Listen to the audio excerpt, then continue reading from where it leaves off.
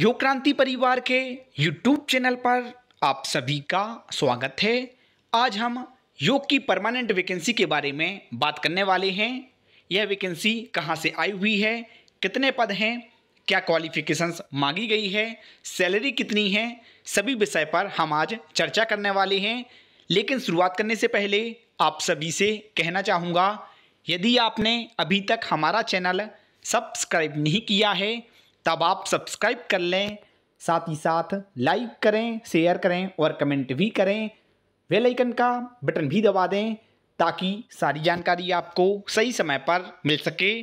यदि आप युक्रांति परिवार के व्हाट्सएप ग्रुप से जुड़ना चाहते हैं तो नीचे डिस्क्रिप्शन बॉक्स में मैंने अपना व्हाट्सएप नंबर दे दिया है। डी ट्रिपल एस बी द्वारा यह नोटिफिकेशन दिनांक पाँच तीन दो हज़ार चौबीस को जारी किया गया था। यहाँ पर आप देखेंगे वुमेन एंड चाइल्ड डेवलपमेंट के अंतर्गत फ़िज़िकल ट्रेनिंग इंस्ट्रक्टर मेल के दो पद आए हुए हैं, जिनमें से एक पद ओबीसी के लिए है, एक पद अनरिजर्व है।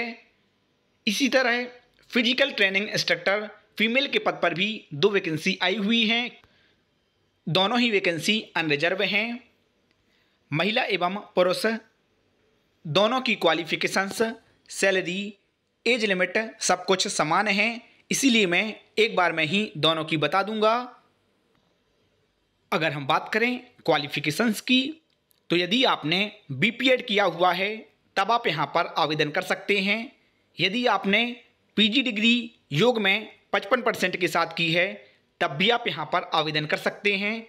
यदि आपने ग्रेजुएशन के बाद योग में डिप्लोमा किया हुआ है, और उसमें भी पचपन परसेंट आपके मार्क्स हैं, तब भी आप आवेदन कर सकते हैं। सैलरी आपको उनतीस हज़ार दो सौ से लेकर के बानवे हज़ार तीन सौ तक दी जाएगी।